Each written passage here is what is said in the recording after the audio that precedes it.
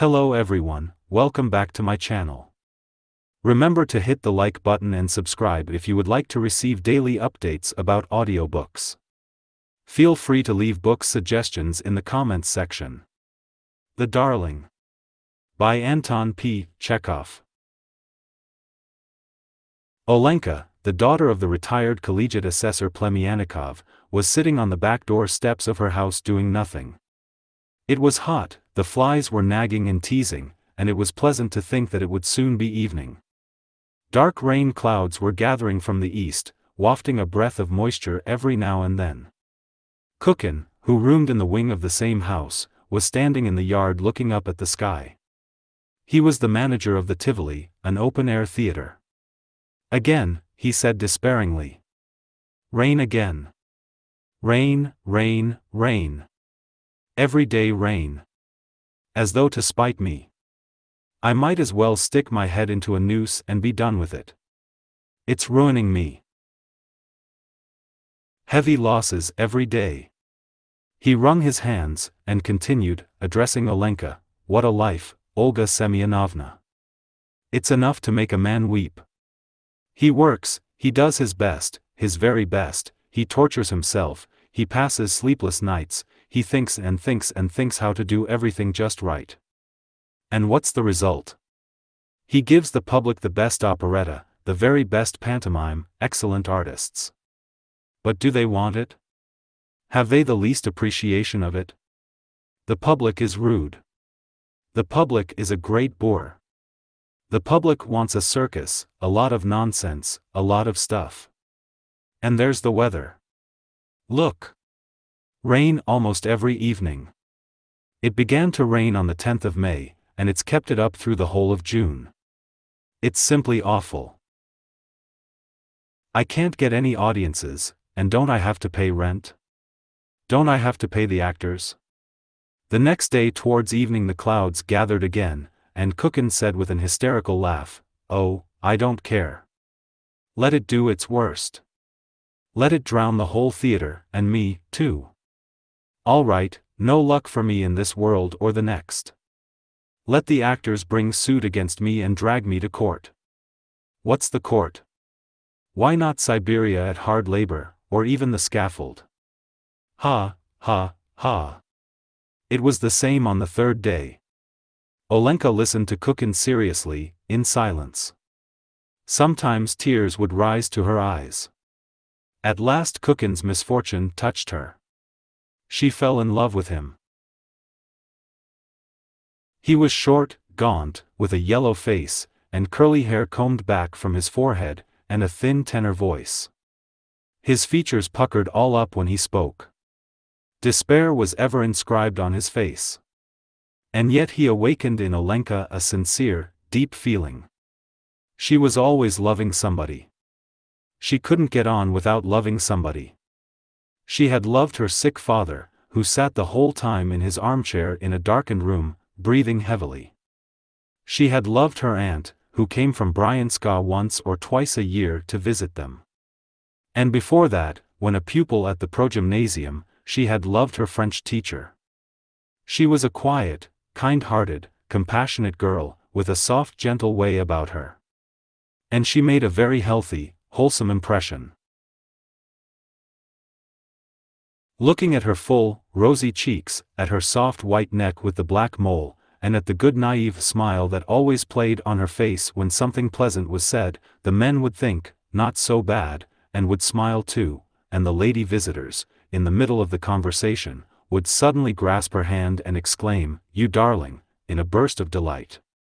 The house, hers by inheritance, in which she had lived from birth, was located at the outskirts of the city on the Gypsy Road, not far from the Tivoli. From early evening till late at night she could hear the music in the theater and the bursting of the rockets, and it seemed to her that Kukin was roaring and battling with his fate and taking his chief enemy, the indifferent public, by assault. Her heart melted softly, she felt no desire to sleep, and when Kukin returned home towards morning, she tapped on her window pane, and through the curtains he saw her face and one shoulder and the kind smile she gave him. He proposed to her, and they were married. And when he had a good look of her neck and her full vigorous shoulders, he clapped his hands and said, You darling. He was happy. But it rained on their wedding day, and the expression of despair never left his face. They got along well together. She sat in the cashier's box, kept the theater in order, wrote down the expenses, and paid out the salaries. Her rosy cheeks, her kind naive smile, like a halo around her face, could be seen at the cashier's window, behind the scenes, and in the cafe. She began to tell her friends that the theater was the greatest, the most important, the most essential thing in the world, that it was the only place to obtain true enjoyment in and become humanized and educated. But do you suppose the public appreciates it? she asked. What the public wants is the circus. Yesterday Vanichka and I gave underscore Faust burlesqued underscore, and almost all the boxes were empty. If we had given some silly nonsense, I assure you, the theater would have been overcrowded. Tomorrow we'll put underscore Orpheus in Hades underscore on. Do come.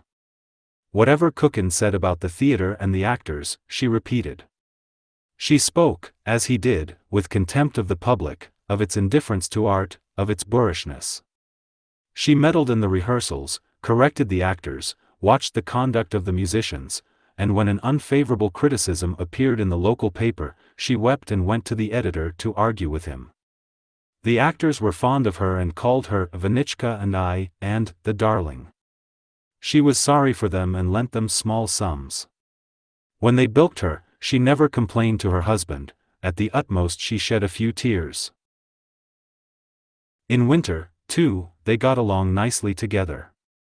They leased a theater in the town for the whole winter and sublet it for short periods to a little Russian theatrical company, to a conjurer and to the local amateur players. Olenka grew fuller and was always beaming with contentment, while Kukin grew thinner and yellower and complained of his terrible losses, though he did fairly well the whole winter. At night he coughed, and she gave him raspberry syrup and lime water, rubbed him with eau de cologne, and wrapped him up in soft coverings. You are my precious sweet, she said with perfect sincerity, stroking his hair. You are such a dear. At Lent he went to Moscow to get his company together, and, while without him, Olenka was unable to sleep. She sat at the window the whole time, gazing at the stars. She likened herself to the hens that are also uneasy and unable to sleep when their rooster is out of the coop. Kukin was detained in Moscow. He wrote he would be back during Easter week, and in his letters discussed arrangements already for the Tivoli. But late one night, before Easter Monday, there was an ill-omened knocking at the wicket gate. It was like a knocking on a barrel boom, boom, boom. The sleepy cook ran barefooted, plashing through the puddles, to open the gate. Open the gate, please, said someone in a hollow bass voice. I have a telegram for you. Olenka had received telegrams from her husband before, but this time, somehow, she was numbed with terror. She opened the telegram with trembling hands and read, Ivan Petrovich died suddenly today. Awaiting propped orders for Wuneral Tuesday. That was the way the telegram was written, Wuneral, and another unintelligible word, propped. The telegram was signed by the manager of the opera company. My dearest. Olenka burst out sobbing. Vanichka, my dearest, my sweetheart. Why did I ever meet you? Why did I ever get to know you and love you?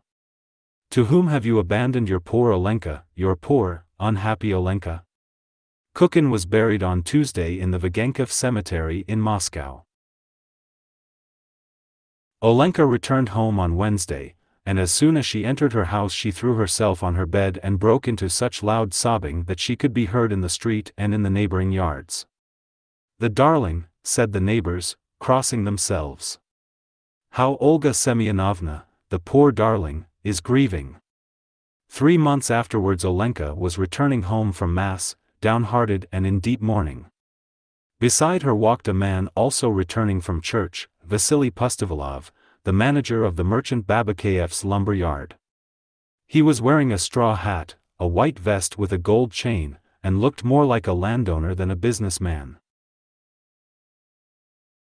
Everything has its ordained course, Olga Semyonovna, he said sedately, with sympathy in his voice. And if any one near and dear to us dies, then it means it was God's will and we should remember that and bear it with submission.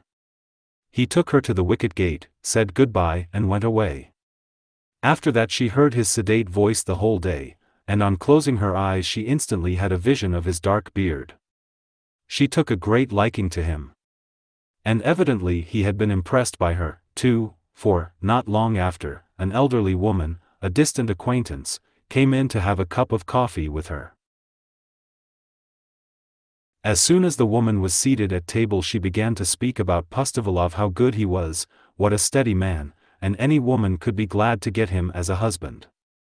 Three days later Pustovalov himself paid Olenka a visit.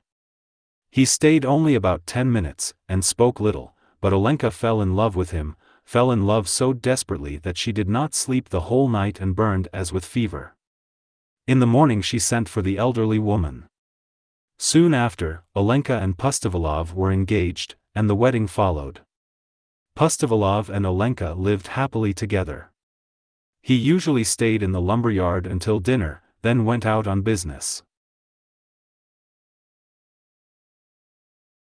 In his absence Olenka took his place in the office until evening, attending to the bookkeeping and dispatching the orders. Lumber rises 20% every year nowadays, she told her customers and acquaintances. Imagine, we used to buy wood from our forests here. Now Vasichka has to go every year to the government of Mogilev to get wood. And what a tax, she exclaimed, covering her cheeks with her hands in terror. What a tax!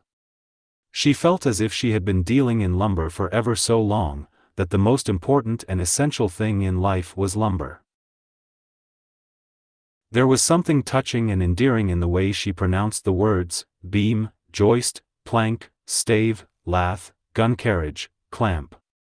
At night she dreamed of whole mountains of boards and planks, long, endless rows of wagons conveying the wood somewhere, far, far from the city. She dreamed that a whole regiment of beams, 36 feet x 5 inches, were advancing in an upright position to do battle against the lumber yard, that the beams and joists and clamps were knocking against each other, emitting the sharp crackling reports of dry wood, that they were all falling and then rising again, piling on top of each other. Olenka cried out in her sleep, and Pustovalov said to her gently, Olenka my dear, what is the matter? Cross yourself. Her husband's opinions were all hers. If he thought the room was too hot, she thought so too. If he thought business was dull, she thought business was dull. Pustovalov was not fond of amusements and stayed home on holidays, she did the same. You are always either at home or in the office, said her friends. Why don't you go to the theater or to the circus, darling? Vasichka and I never go to the theater, she answered sedately. We have work to do, we have no time for nonsense. What does one get out of going to theater? On Saturdays she and Pustovalov went to Vespers, and on holidays to early Mass. On returning home they walked side by side with rapt faces, an agreeable smell emanating from both of them and her silk dress rustling pleasantly. At home they drank tea with milk bread and various jams, and then ate pie. Every day at noontime there was an appetizing odor in the yard and outside the gate of cabbage soup, roast mutton, or duck, and, on fast days, of fish. You couldn't pass the gate without being seized by an acute desire to eat. The samovar was always boiling on the office table, and customers were treated to tea and biscuits. Once a week the married couple went to the baths and returned with red faces, walking side by side. We are getting along very well, thank God, said Olenka to her friends. God grant that all should live as well as Vasichka and I. When Pustovalov went to the government of Mogilev to buy wood, she was dreadfully homesick for him, did not sleep nights, and cried. Sometimes the veterinary surgeon of the regiment, Smirnov, a young man who lodged in the wing of her house, came to see her evenings. He related incidents, or they played cards together. This distracted her. The most interesting of his stories were those of his own life. He was married and had a son, but he had separated from his wife because she had deceived him, and now he hated her and sent her 40 rubles a month for his son's support. Olenka sighed, shook her head, and was sorry for him. Well, the Lord keep you, she said, as she saw him off to the door by candlelight. Thank you for coming to kill time with me. May God give you health. Mother in heaven. She spoke very sedately, very judiciously, imitating her husband. The veterinary surgeon had disappeared behind the door when she called out after him, Do you know, Vladimir Platonych, you ought to make up with your wife. Forgive her, if only for the sake of your son. The child understands everything, you may be sure. When Pustovalov returned, she told him in a low voice about the veterinary surgeon and his unhappy family life, and they sighed and shook their heads, and talked about the boy who must be homesick for his father. Then, by a strange association of ideas, they both stopped before the sacred images, made genuflections, and prayed to God to send them children. And so the Pustovalovs lived for full six years, quietly and peaceably, in perfect love and harmony. But once in the winter Vasily Andreich, after drinking some hot tea, went out into the lumber yard without a hat on his head, caught a cold and took sick. He was treated by the best physicians, but the malady progressed, and he died after an illness of four months. Olenka was again left a widow. To whom have you left me, my darling? she wailed after the funeral. How shall I live now without you, wretched creature that I am? Pity me, good people, pity me, fatherless and motherless, all alone in the world. She went about dressed in black and weepers, and she gave up wearing hats and gloves for good. She hardly left the house except to go to church and to visit her husband's grave. She almost led the life of a nun. It was not until six months had passed that she took off the weepers and opened her shutters. She began to go out occasionally in the morning to market with her cook. But how she lived at home and what went on there, could only be surmised. It could be surmised from the fact that she was seen in her little garden drinking tea with the veterinarian while he read the paper out loud to her, and also from the fact that once on meeting an acquaintance at the post office, she said to her, There is no proper veterinary inspection in our town. That is why there is so much disease. You constantly hear of people getting sick from the milk and becoming infected by the horses and cows. The health of domestic animals ought really to be looked after as much as that of human beings. She repeated the veterinarian's words and held the same opinions as he about everything. It was plain that she could not exist a single year without an attachment, and she found her new happiness in the wing of her house. In anyone else this would have been condemned, but no one could think ill of Olenka. Everything in her life was so transparent. She and the veterinary surgeon never spoke about the change in their relations. They tried, in fact, to conceal it, but unsuccessfully, for Olenka could have no secrets. When the surgeon's colleagues from the regiment came to see him, she poured tea, and served the supper, and talked to them about the cattle plague, the foot and mouth disease, and the municipal slaughter houses. The surgeon was dreadfully embarrassed, and after the visitors had left, he caught her hand and hissed angrily, Didn't I ask you not to talk about what you don't understand?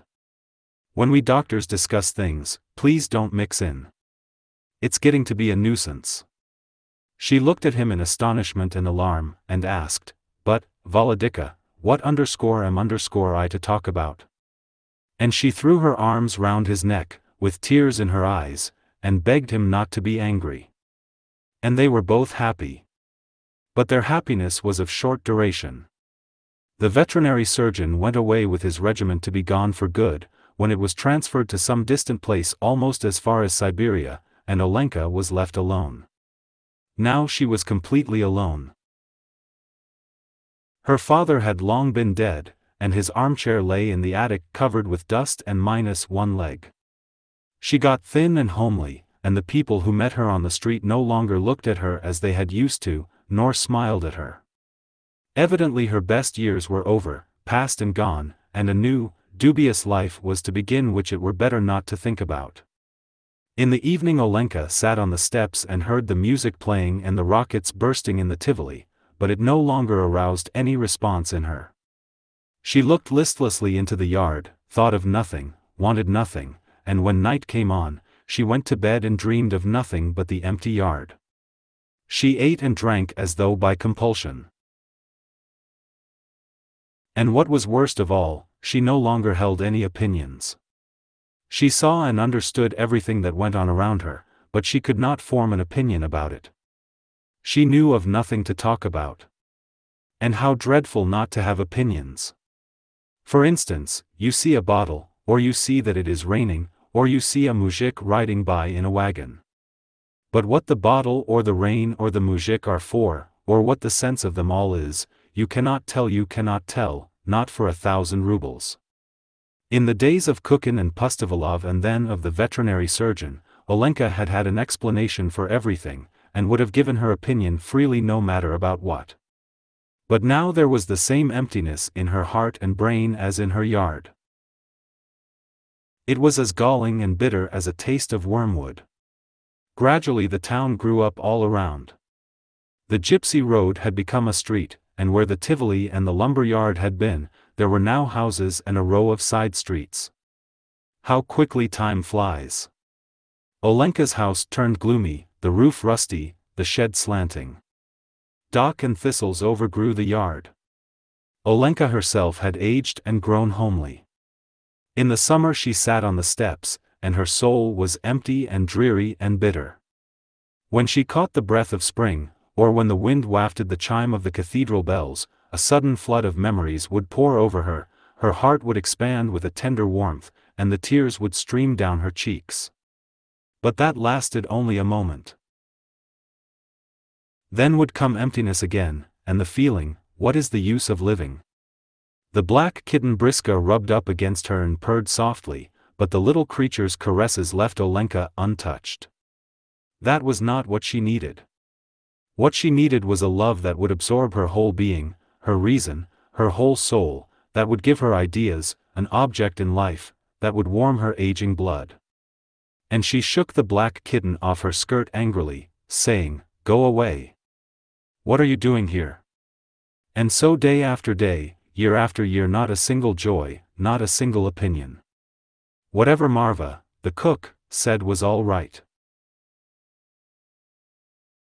One hot day in July, towards evening, as the town cattle were being driven by, and the whole yard was filled with clouds of dust, there was suddenly a knocking at the gate. Olenka herself went to open it, and was dumbfounded to behold the veterinarian Smirnov. He had turned grey and was dressed as a civilian. All the old memories flooded into her soul, she could not restrain herself, she burst out crying, and laid her head on Smirnov's breast without saying a word. So overcome was she that she was totally unconscious of how they walked into the house and seated themselves to drink tea. My darling, she murmured, trembling with joy. Vladimir Platonych, from where has God sent you? I want to settle here for good, he told her. I have resigned my position and have come here to try my fortune as a free man and lead a settled life. Besides, it's time to send my boy to the gymnasium. He is grown up now. You know, my wife and I have become reconciled. Where is she? asked Olenka. At the hotel with the boy. I am looking for lodgings. Good gracious, bless you, take my house. Why won't my house do? Oh, dear. Why, I won't ask any rent of you, Olenka burst out in the greatest excitement, and began to cry again. You live here, and the wing will be enough for me. Oh, heavens, what a joy! The very next day the roof was being painted and the walls whitewashed, and Olenka, arms akimbo, was going about the yard superintending. Her face brightened with her old smile. Her whole being revived and freshened, as though she had awakened from a long sleep. The veterinarian's wife and child arrived. She was a thin, plain woman, with a crabbed expression. The boy Sasha, small for his ten years of age, was a chubby child, with clear blue eyes and dimples in his cheeks. He made for the kitten the instant he entered the yard, and the place rang with his happy laughter. Is that your cat, Auntie? he asked Olenka. When she has little kitties, please give me one. Mama is awfully afraid of mice. Olenka chatted with him, gave him tea, and there was a sudden warmth in her bosom and a soft gripping at her heart, as though the boy were her own son. In the evening, when he sat in the dining room studying his lessons, she looked at him tenderly and whispered to herself, My darling, my pretty. You are such a clever child, so good to look at. An island is a tract of land entirely surrounded by water, he recited. An island is a tract of land, she repeated the first idea asseverated with conviction after so many years of silence and mental emptiness. She now had her opinions, and at supper discussed with Sasha's parents how difficult the studies had become for the children at the gymnasium, but how, after all, a classical education was better than a commercial course, because when you graduated from the gymnasium then the road was open to you for any career at all. If you chose to, you could become a doctor, or, if you wanted to, you could become an engineer. Sasha began to go to the gymnasium. His mother left on a visit to her sister in Kharkov and never came back. The father was away every day inspecting cattle, and sometimes was gone three whole days at a time, so that Sasha, it seemed to Olenka, was utterly abandoned, was treated as if he were quite superfluous, and must be dying of hunger. So she transferred him into the wing along with herself and fixed up a little room for him there. Every morning Olenka would come into his room and find him sound asleep with his hand tucked under his cheek, so quiet that he seemed not to be breathing. What a shame to have to wake him, she thought. Sashenka, she said sorrowingly, get up, darling. It's time to go to the gymnasium. He got up, dressed, said his prayers, then sat down to drink tea. He drank three glasses of tea, ate two large cracknels and half a buttered roll. The sleep was not yet out of him, so he was a little cross. You don't know your fable as you should, Sashenka, said Olenka, looking at him as though he were departing on a long journey. What a lot of trouble you are. You must try hard and learn, dear, and mind your teachers. Oh, let me alone, please, said Sasha. Then he went down the street to the gymnasium, a little fellow wearing a large cap and carrying a satchel on his back. Olenka followed him noiselessly. Sashenka, she called. He looked round and she shoved a date or a caramel into his hand. When he reached the street of the gymnasium, he turned around and said, ashamed of being followed by a tall, stout woman, you had better go home, aunt. I can go the rest of the way myself. She stopped and stared after him until he had disappeared into the school entrance. Oh, how she loved him. Not one of her other ties had been so deep.